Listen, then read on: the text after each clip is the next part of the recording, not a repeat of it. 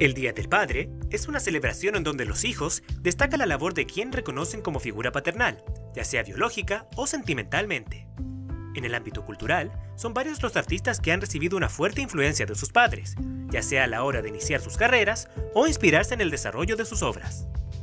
En el caso de la destacada pintora mexicana Frida Kahlo, fue su padre Guillermo que le dio las primeras herramientas artísticas al enseñarle todo lo que sabía sobre su profesión, la fotografía.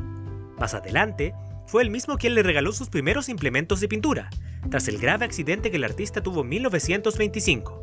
Como agradecimiento, Frida creó un particular retrato de su padre en 1951.